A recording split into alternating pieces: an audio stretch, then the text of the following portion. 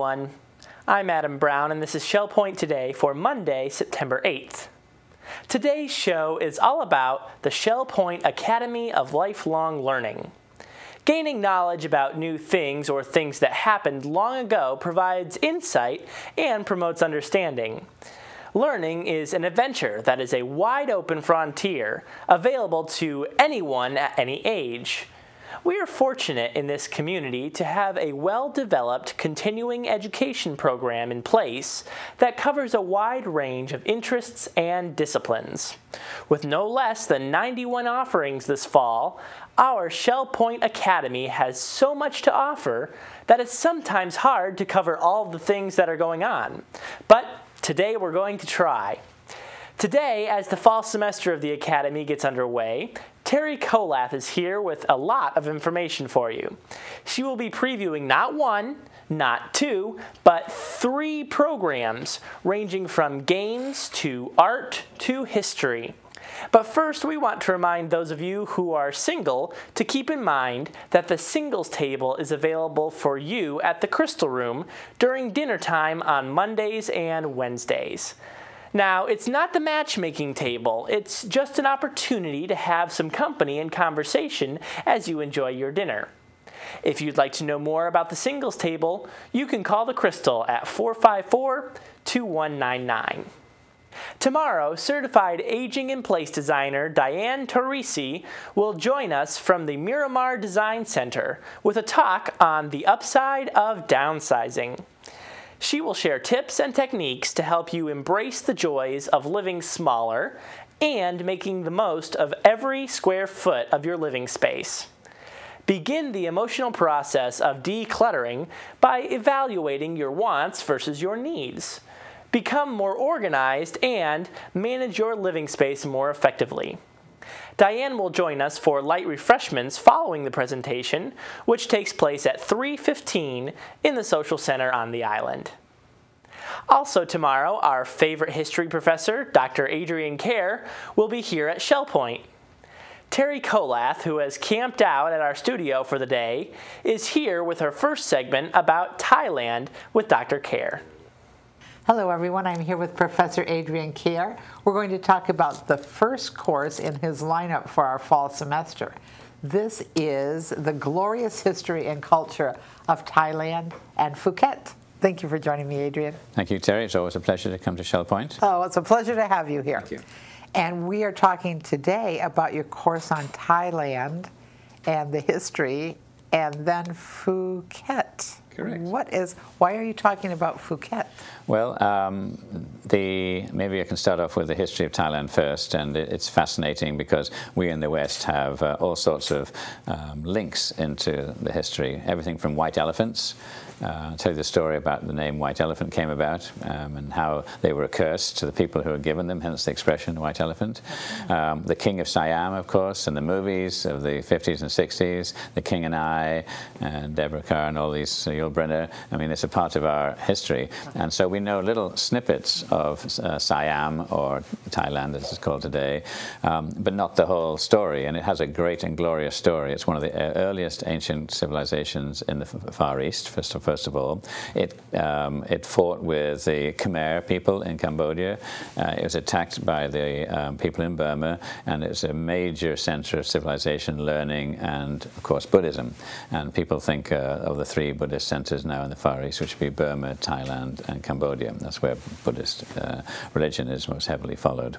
And even watching those movies, you know, back in the day with Deborah Kerr and Yul Brynner, it seemed so amazing and foreign and totally different. Well, Thailand was one of these interesting countries that avoided being taken over by the colonial powers by diplomatic maneuvering. Mm -hmm. So all the other countries around them were taken over by the English or the, um, the French, but they were able to tiptoe through that colonial minefield and stayed pretty much independent. Um, the, the, recent history of the last 150 years or so has been rather sad in that um, they've had a series of kings, all called Rama 1 all the way through to Rama 7. and the current longest reigning monarch in the world, I believe he's still alive, is the King of Thailand. And his role in stabilizing the country has been outstanding. And he's really under test right now because um, with the military takeover, not the first in the last 50 years, but one of many, the military takeover has now thrown out the old prime minister who was connected to a corrupt regime of the past. She was, she's now out of office and the military are in office. And of course, there have been all sorts of worries that the country may degenerate into a civil war. And the combination of the military behaving as best they can mm -hmm. and the calming influence of the old king um, has managed to keep Thailand out of serious trouble for the moment. Interesting. And now Phuket. Phuket. Um, Phuket is an island just off the west coast of Thailand, nearly into Burma. And it's one of those um, wonderful um, tropical uh, islands which people flock to and have done for hundreds of years. That was uh, the case until 2004, when on Boxing Day, which in America would be the 26th of December, um, there was a major earthquake offshore of Sumatra. And this earthquake spread all the way from to Africa and India and Pakistan through to um, the east, and, and, the most devastating uh, impact in the east of the Sumatra was Phuket. It was right in the line within 45 minutes of this huge earthquake, the third largest earthquake we've ever um, recorded. Um, and uh, 200,000 people died across the world, and 5,000 people died in Phuket, which is a tragedy. Why Phuket um, has been the focus of this earthquake versus more people died in India and Bangladesh and in Indonesia by far. Mm. But of course, being a tourist center, there were cameras left, right, and center. There were lots of Westerners holidaying there, and they brought back stories of devastation and also what I, want, what I want to focus on is um, focus on the story of humanity. There were two teenage children um, and their mother was tragically killed in the wall of water, which is about 30 foot high, which swept into their hotel. And they had to get back to England. And a local couple um, took them under their wing and drove them to Bangkok, uh, 300 miles away, and put them on a plane on their own to come back to England. And that was 10 years ago. Strangely, when they were on Facebook earlier this year, they made contact with people in uh, Phuket, and somebody put them in touch with the couple who had done this great humanitarian act. And they communicated by um, Skype. And interestingly enough, this month they both returned, 10 years older, to thank the two Thai people who had helped them so much. And I've got some photographs to show you of um, um, their meeting only this month. Fabulous. Well, thank you. Good reasons to come and spend an hour and a half, 10 to 11.30, Tuesday the 9th of September with Professor Adrian Kerr for the glorious history and culture of Thailand and Phuket. If you ever get the chance to visit Thailand, you're sure to want to take a camera to capture some of the color and magic and we have quite a bit of color and magic to capture right here at Shell Point. So this next class Terry has to share with us could be just the thing to help you get ready. Hello everybody, I'm here with Herb Sklar of Eagles Preserve. We're talking about one of the classes that is coming up in the Fall Academy of Lifelong Learning for those of you with the digital camera. It's a prep school. Thank you for joining me, Herb. Oh, you're welcome. Happy to be here. Um, prep school, yes. Um, digital photography, well, you can only do digital photography. Film photography now is almost passe. It's, right. it's very difficult to do and get the film process, so digital photography is the way to do it. Now, the interesting thing about these cameras, whether they cost you $20 or $10,000. They're basically all the same, and they work by menus. The problem is that every camera has a different menu. So the way the class runs is you'll bring your camera, mm -hmm. and you'll bring your instruction book, and we will spend the first class trying to get everybody's camera working so they really know how to work it. And then the next two weeks, I'll be showing some slideshows on how to take pictures and how to improve your photo skills. So don't worry about it if you think it's too technical. There'll be plenty of people who will be helping me, uh -huh. and so everybody will get a little personal attention, and they'll walk out of there knowing how to use their camera. To me, this is one of the best gifts you give us, and you give us a lot of gifts okay. in the world of art. But to think that someone who really doesn't know how to use their digital camera can come in in a non-threatening environment and just comfortably learn how to do it because it's there's not that much to it if somebody explains your camera to you, right? Right, Right. Well, I, I also have a little selfish reason for doing it because these people now start taking pictures. They want to join the photo club. Exactly. So I'm recruiting. Well, you're recruiting, but that's another wonderful thing that it, it's a good thing to talk about when we're talking about a very beginning prep school camera course, is that there really are a lot of opportunities to use your camera in life and at Shell Point. Right, and, and it's a very quick learning process because it's not like the old days where you had to send away and you wait for the pictures to come down. You take a picture, you see it. I don't like it. Now you try to improve it. So it has a very quick learning to it. Exactly. I remember having to set stops and you know do all sorts of Right. things to get that picture right. And now it really is pushing a button. You push it, but and, and you can see it what you did right away, and so you can correct all your mistakes. And we might just say, because this is a good time to say it, that with the new photo studio in the Island Tunnel, the Photo Club will be offering even more classes in photography once you get past that hurdle of Oh, knowing. abs- oh absolutely. We, we'll take you along, Red, and you become an expert in no time. Well, you're so generous with your love of photography, and I just want to thank you on behalf of your community. Oh, you're thank more you than so welcome. It's for- my pleasure, really. Now, you've got an opportunity here you won't want to miss. If you have that digital camera sitting in a box somewhere and you're ignoring it, get that box, bring it to Digital Camera Prep School for three Tuesday mornings with Herb Sklar. You'll be glad you did. After technical information about digital cameras and all of that history, maybe you'll want to unwind with a good game. If cards and the game of bridge sounds like it might be fun, then Terry has one more item for you today. A preview of the intermediate bridge class with our favorite bridge whiz, Susan Willoughby. Hello, everyone. I'm here today with our favorite bridge teacher. Her name is Susan Willoughby. She's been teaching bridge at Shell Point for a number of years, and we're going to talk about this semester's offerings and hopes that you will give bridge a try. Thanks for joining me, Susan. You're welcome. Thanks, Terry. So, um, how complicated is it really? You always hear that bridge and chess are the kinds of games that are really difficult to play. Well, I always kind of equate it a little bit to backgammon, which is anybody can play it, but it is not easy to play it well. Ah, Right. so you can anybody can learn to play it. Like in college, we threw cards around and pretended we were playing bridge. Then the whole world opens up to you, and you find out there's a lot more to it than you thought initially. Another question I get asked is what level of ability do you need to be in? I know we periodically offer classes for beginners, but we really never get enough people interested in signing up. That doesn't mean we won't try it again. Right. But for this class, intermediate, that would signal to me a little bit of knowledge. Well, yes, it is not for the absolute beginner. Uh, you need to know the basics and with a little bit of understanding of some of the conventions, like the most commonly used ones, which are weak twos and Stayman and Jacoby transfers.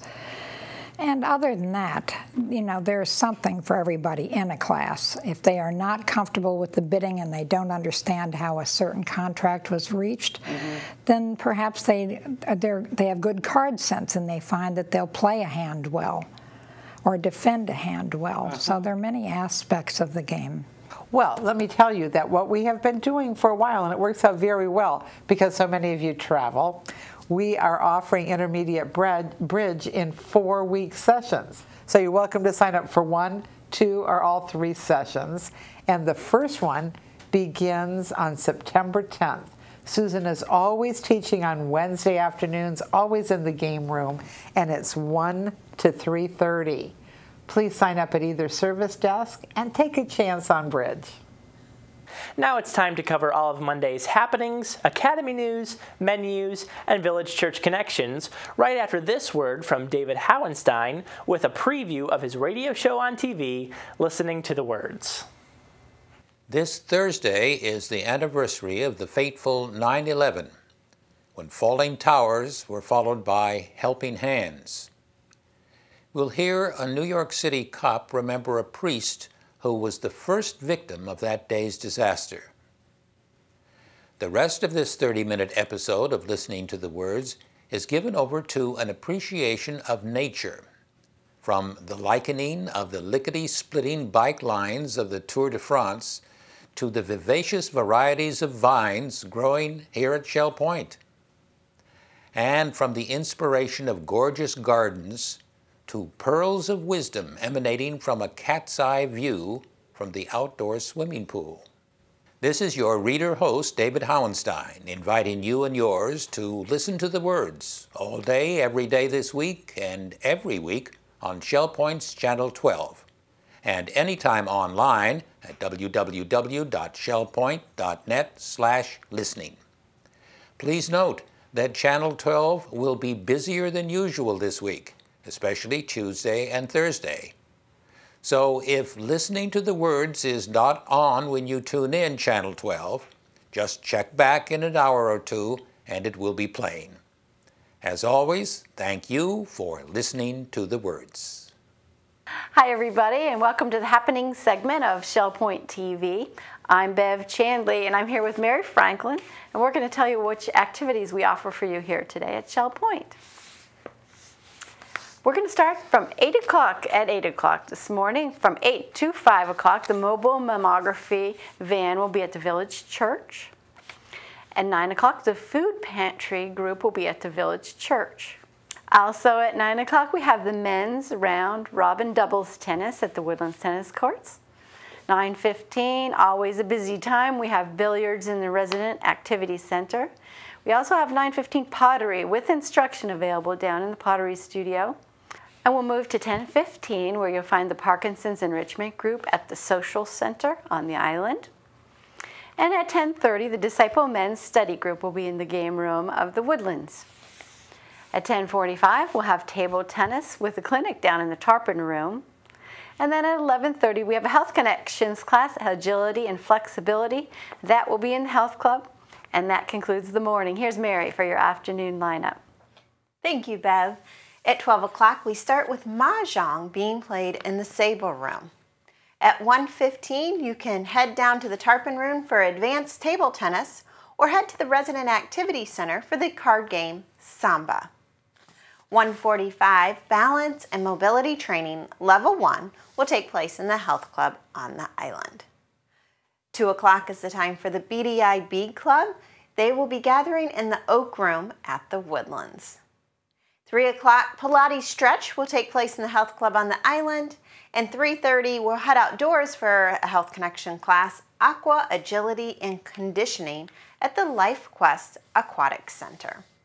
We wrap up our Monday evening with Duplicate Bridge being played at 6.30 in the game room.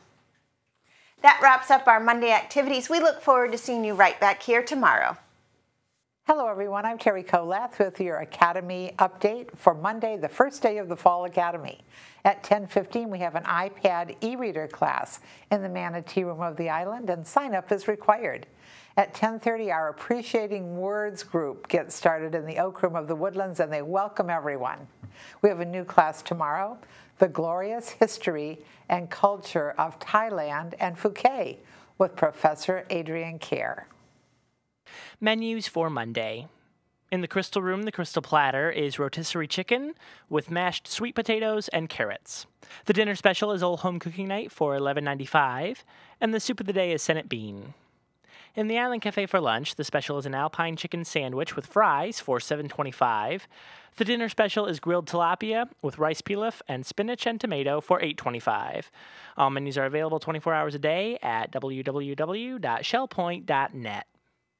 It's a privilege to welcome you today to Village Church Connections. Thank you for joining us. I have a very special guest beside me today, Bob Southern, who is our project management leader here at Shell Point. And Bob, you and your team, Julie Nipper in particular, have been very, very helpful to us as we've been working through this renovation project at the church. And before we get into any of the details of the project, I just want to say thank you. On behalf of all of us, we have deeply appreciated the work and the time and the energy that you all have devoted to the project, and we could not have done it without you. So thank you. Oh, you're quite welcome, um, and it's been a pleasure. Uh, certainly, the Village Church is a, a, centerpiece of the community and who we are, and uh, it's been a, a, joy to be a part of that and to work with uh, the team in the church. And uh, it, has been fun and challenging, and uh, as any big job like that is, and, and renovating uh, an existing space. So. Um, uh, we've been pushing through all those challenges and, and, those interesting discoveries you make behind walls and under floors. And uh, we're looking forward to seeing it done and moving everybody back in and getting uh, those uh, services up and running. We are too, and as we get closer to that October date, that's been our goal. The activity level is escalating around the, the uh, church as a lot of things are going on. Give us an update as to what's currently happening and where we are in the project. Well, um, we spent a lot of time uh, in the in the main sanctuary area after we uh, just cleared everything out and, and, removing the existing old seating and the carpeting, and then with uh, the use of lifts, tearing down all the old ceiling tiles and insulation in the ceiling so that we could get above the ceiling uh, to remove the, the old can lights that used to light the sanctuary and all the, the wiring that went back to the main electrical room to, to be prepared to install all the new um, and more modern electrical uh, light fixtures that are going to light the sanctuary.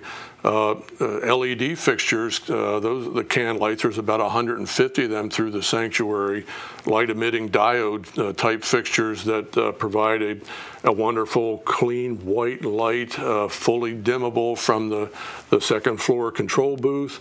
Uh, so that uh, the, the, the folks working up there can control the amount of light in the sanctuary in different areas of the sanctuary. Uh, they have all those light fixtures have now been installed along with the control packages and the wiring back to the control booth. Um, new ceiling tiles and insulation have been installed, so now the sanctuary itself, that ceiling is finished.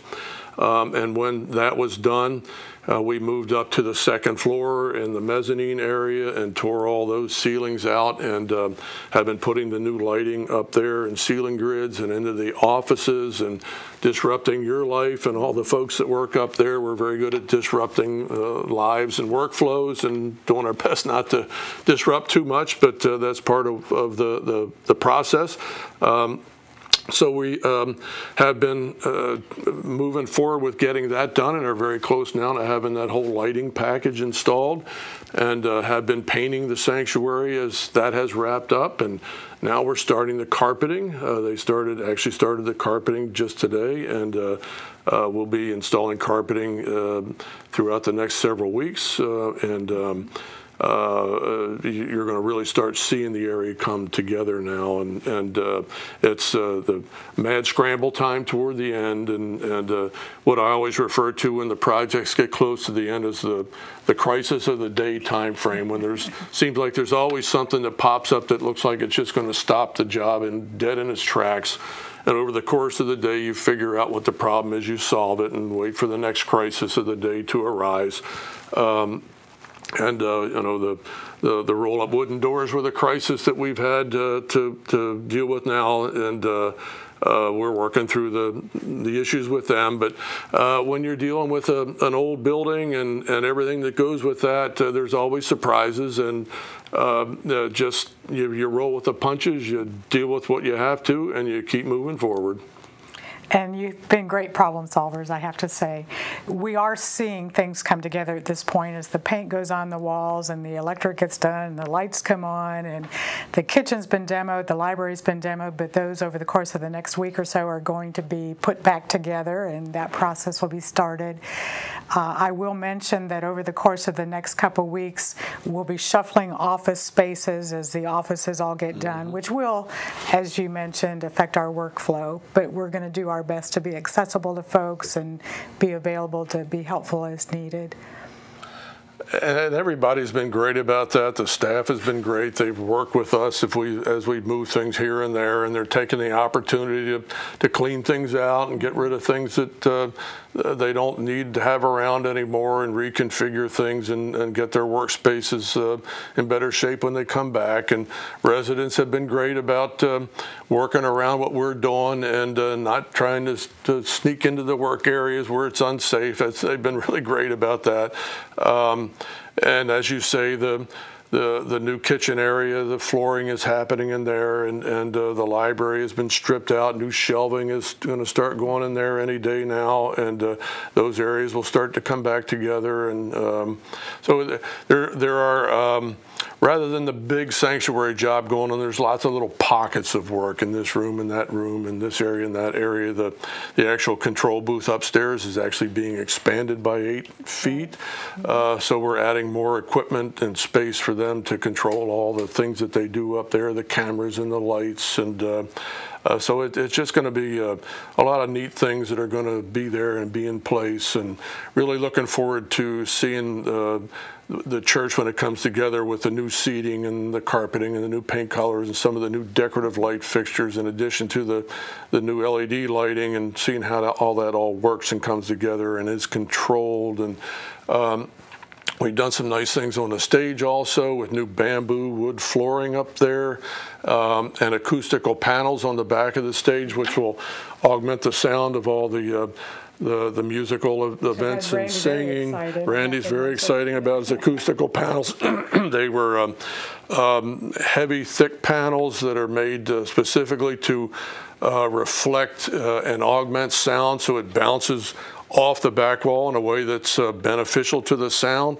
And uh, there's, um, I think, 42 of these panels, and they weigh 95 pounds each. So we actually had to rebuild the rear wall of the stage so it would hold all that weight. Um, and uh, they were installed about a week ago, and uh, they look great up there. So the, the, the rear curtains of the stage come right up and meet these deep panels, and when the uh, the, the, the curtains are closed, um, it looks very nice. Um, and we've got a big, beautiful new cross that's being made that will be internally lit. So uh, when that's hung in front of these new panels and with the, the curtains, and it's just going to be gorgeous. It will be. It's been noisy, it's been messy, but it's been exciting. And we love seeing the project come together. And over the course of the next few weeks, we're just celebrating that. Our goal's been October, and I believe that we will still be able to be back in that space beginning in October. It probably won't be 100% done. We don't expect it will be, but certainly usable. That is our goal, uh, and I, I, think you're probably right. There'll still be some back of uh, behind the scenes stuff going on. Uh, uh, when you've got these all these little discoveries that happen and things that pop up, you add a little time to the schedule. Uh, but we're very confident that the the sanctuary will be opened and usable, and the uh, with the carpeting starting now, and the, the, the chairs will be coming soon. And uh, how many chairs? Um, about a thousand, a uh, thousand fifty, I think is the number. And thank you, Bob, and send our thanks to Julie as well. You've been a great team to work with. Thank you. Thank you for joining us today. Have a wonderful day. We're glad you joined us for today's show. Tune in tomorrow when we'll hear about technology working for you. We'll get a tech tip from Penny Modrich about updating your applications. And we'll meet with our nurse practitioner, Dr. Carol Clark, and Tara Hazard, who will introduce us to the new patient portal for accessing your health information at the ShellPoint Medical Center. Until then, this is ShellPoint Today for Monday, September 8th. I'm Adam Brown, and for all of us here at ShellPoint TV, we hope you have a great day, and we'll see you back here tomorrow.